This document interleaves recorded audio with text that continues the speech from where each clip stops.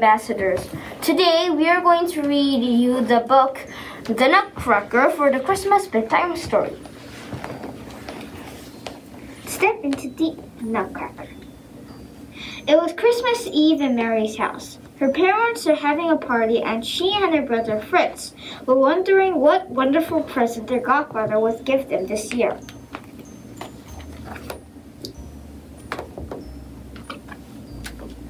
When Godfather Drosselmeyer arrived, he presented them with a beautiful wooden nutcracker. Mary placed an almond in his mouth. Crack! The shell fell away. Let me see him, shouted Fritz. But he pulled too hard and the nutcracker broke. Don't worry, said Godfather Drosselmeyer. I will fix him. Later that night, Mary couldn't sleep. She kept thinking about the nutcracker, so she tiptoed downstairs to see him. As she picked him up, she was amazed to see the nutcracker spring to life. Be careful, he said. The Mouse King approaches. Scurrying out of the cracks in the walls and the holes in the floor were hundreds of mice, led by the biggest mouse Mary had ever seen.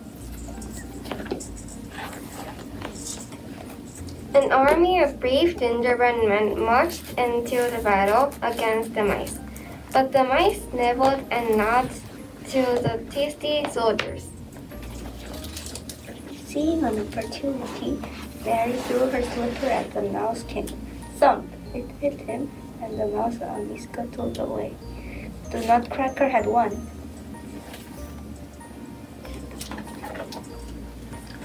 Before Mary's very eyes, the nutcracker turned into a real live prince.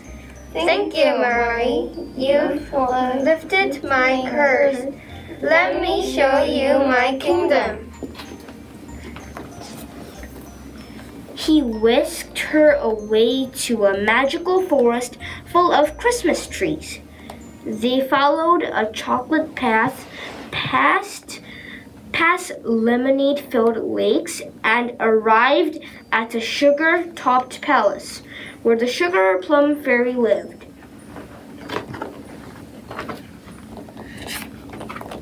Mary and the Nutcracker danced all night to the sugar plum fairy's beautiful music.